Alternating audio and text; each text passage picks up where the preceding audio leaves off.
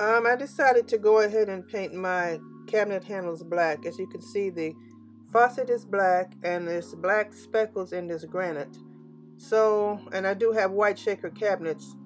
So I figured it would look a lot better if I just accent, you know, with the black handles and have it match the uh, faucet.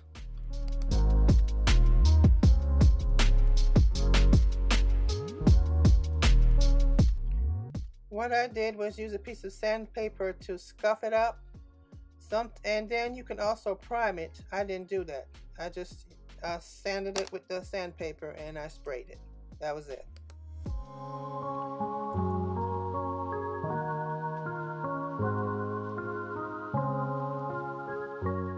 What I did here was uh, use a piece of foam.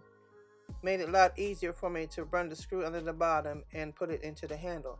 You can also use a piece of cardboard as well, but I found this to be a lot easier. And it makes it easier this for you to manipulate that I use. all angles.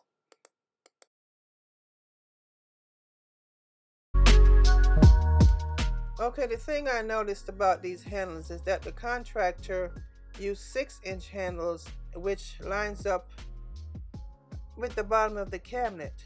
Now what he could have done, which would have been better, is use 5 inch handles. Or if he's going to use these, just put it up a little further. But it's okay, it looks fine. I'm still happy with it.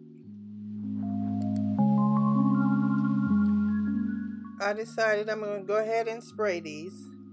I've done the right one over there just to see how it would look. I've done it in the bathroom previously. Never mind my dirty dishes. I'm going to wash those later.